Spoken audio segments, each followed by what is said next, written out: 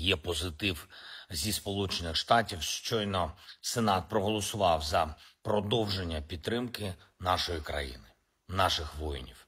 Рішення, заради якого ми дуже багато працювали, рішення якого очікували не лише ми, багато інших народів, зокрема у Європі. Світ, який чекає, що американське лідерство і надалі буде твердим і допомагатиме захищати життя і берегти свободу.